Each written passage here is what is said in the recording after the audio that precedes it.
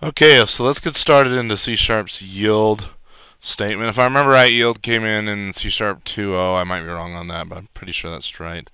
Um, basically, it makes making iterating over objects a lot easier. So let's just get right into an example. I'm going to make a static uh, I enumerable int uh, get random numbers method here. And um, just for tickles, let's let's pass in int count. Okay, so, so let's make a static random rand gets new random. And the reason I make this static is um, it's good to make one random object for your entire uh, program because if you don't, you can end up newing up a bunch of randoms, and if you new them up within the same like clock tick or whatever, you get the same sequence of random numbers every time. So it's not really as random as it should be. So it's it's a good thing to make this static out here, just just share it amongst the, amongst the whole program. Okay, so I'm gonna it, since I need to return an enumerable of int. Uh, one of the built-in data structures that does that is a list. So that's easy. List of int ints gets new list of int and then um, for tab tab and i less than 0, i less than count, i plus plus. I'm going to remove the extra curlies because that's just my programming style. You don't necessarily have to. Ints dot add uh, rand dot next. Okay, and then I'm going to return ints. All right. So now then down here you know, now I have this little helper method, get random numbers, and, and I can say, okay, well, for each, for each, uh, for each int, int num, and get random numbers, uh, console write line num. Oh, and of course I have to have to specify how many random numbers we want, so let's do 10. Okay, run it, and you see we have random numbers, rather large random numbers, but random numbers nonetheless.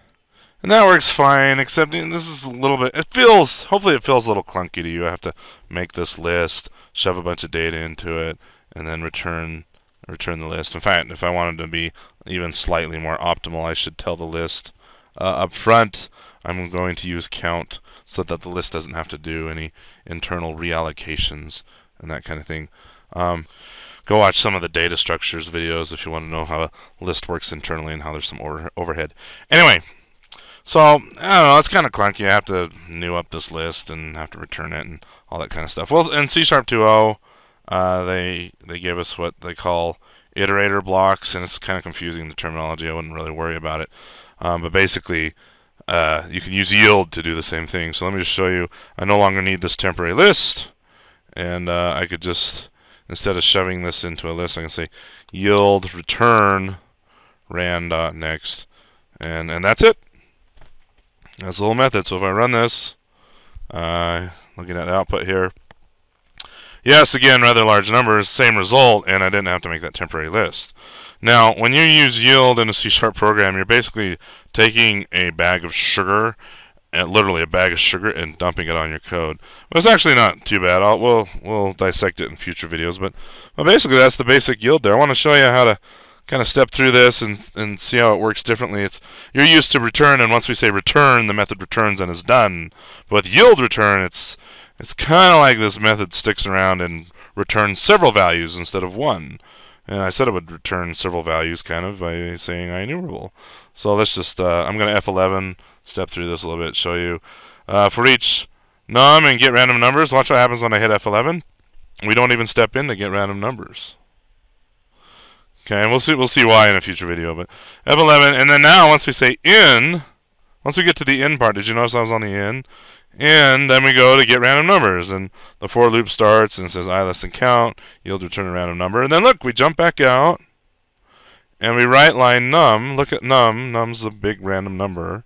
But then I'm going to hit F11 again, and notice what happens when I jump. I jump from the in here. I go back into get random numbers. And not only do I go back into it, I go back into where I left off, i plus plus. Okay, remember, we left off, last time we left this method, we left on the yield return, which is kind of makes sense. It's like return, okay. We returned, And then we come back and we say, hey, we need another random number, and then it jumps to where this i plus plus it's it saves its state in a way.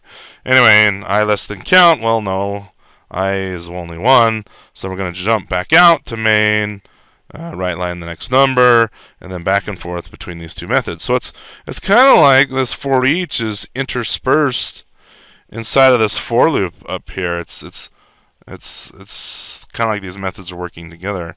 Yes, there's a ton of sugar going on. Yes, we'll dissect it in a future video. But that's that's the basic gist of a yield.